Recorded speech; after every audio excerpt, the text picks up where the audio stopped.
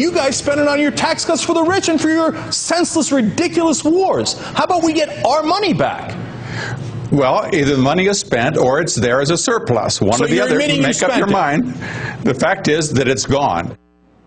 So that was former Congressman Bob McEwen on Tuesday's show, backing up Alan Simpson, saying that our Social Security Trust Fund is gone. That $2.5 trillion surplus, too bad we already spent it, you might as well deal with it.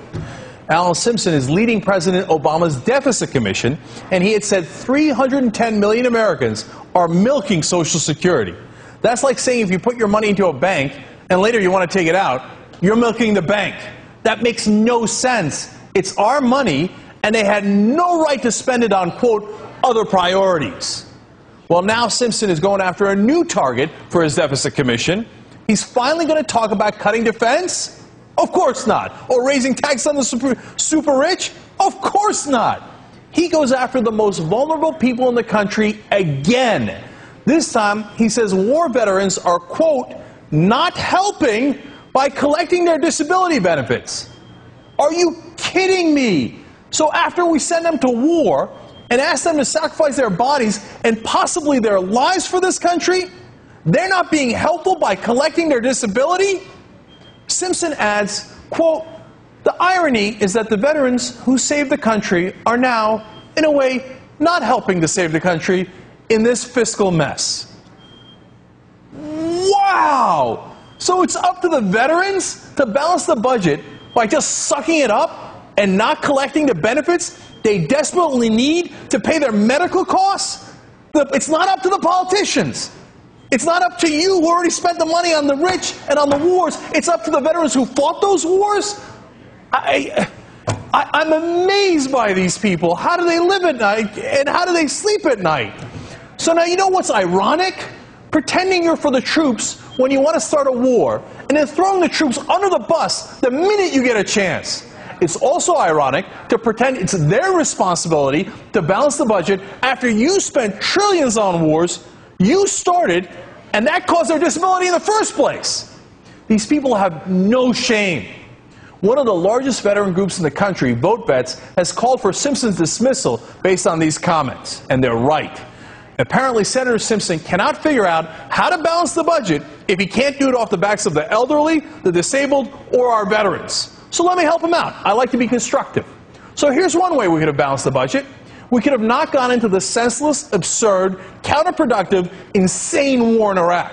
That would have saved us at least $709 billion so far.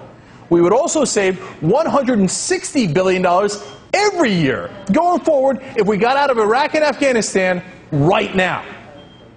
Ironically, getting out of these wars would also save us much more of those disability payments to the veterans that Simpson seems to hate so much. Well, you might say that's in the past. But you think they're done? They're not done. The neocons and the defense contractors are like Bob. They never go away. It was a disaster, Faye! No, it wasn't. You were wonderful, sweetie. Fine, Dad. Yeah. Why'd you need to kick Bob out of the house? You think he's gone? He's not gone! That's the whole point! He's never gone! Is this some radical new therapy? You see? Bill Murray, the perfect defense contractor there. Interesting analogy. Look, but they're never gone. That's my point. The Afghanistan war is now surging. We're escalating that war. And you know what? There'll be one after that, and one after that. The defense industry and the politicians they buy will make all their money up front and then ask veterans to take cuts in their disability payments later. Look, here's another suggestion for savings. How about we stop giving $45 billion in subsidies to the largest oil companies in the world? That's mental. They're making record profits and they're multinational corporations, and we're robbing the American people of the $45 billion over the next 10 years to give them more money? But for Simpson, that's a bridge too far. Can't touch the oil companies, they're too powerful. You can only kick the powerless when they're down. Here's another suggestion. I keep busting you up all night long. How about we don't give the richest 2% of this country yet another enormous tax cut? If we just stop the Bush tax cuts for the top 2%, we would save $681 billion over the next 10 years. That would pay for a lot of disability benefits. No, that doesn't want to get cut. No, they don't want to cut that. No. They want to cut your benefits, whether it's Social Security or disability. That would slightly inconvenience Senator Simpson's rich friends. He has a better plan to take the money from you because you can't fight back.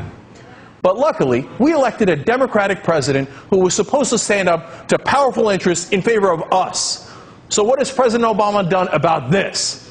Well, first, he made Simpson co chair of his deficit commission. In other words, he's the one that put Simpson in charge. Then, when these statements started coming out, the president backed him up and said his job is safe. Of course it is. He hasn't offended Fox News or Andrew Breitbart. And President Obama's defenders scratched their heads and wonder why the people who voted for him might be disillusioned. When progressives in the administration get fired for the slightest offense to Fox News, and conservatives, conservatives who want to cut Social Security and disability benefits to veterans get the full backing of the president, that might give you a clue. Tune in tomorrow when Alan Simpson kicks a puppy and pocket change Obama says the puppy had it coming.